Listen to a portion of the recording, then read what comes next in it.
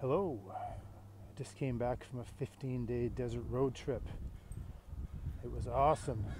No text messages, no email, no social media. I highly recommend giving that a try. Anyway, today I want to talk about returning to training after a layoff. During that road trip, I did almost no fitness training, and I'm eager to get back into it. Uh, but I got to be careful. There's some things I want you all to think about when you come back from a layoff.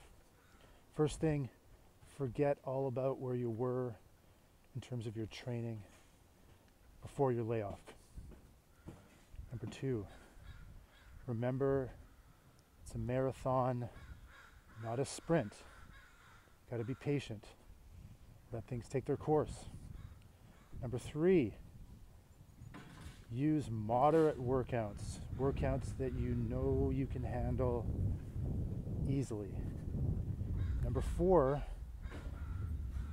the other alternative to doing one moderate workout at a time is to do a number of small workouts, little ones, not stressing you too much, just getting your body and your mind back into the game, giving you a little bit of a stimulus, allowing you to assess how you're feeling depending on the length of your layoff and how your body and mind are feeling, use that as your gauge for getting back into it and ramping up the intensity, volume of training, etc.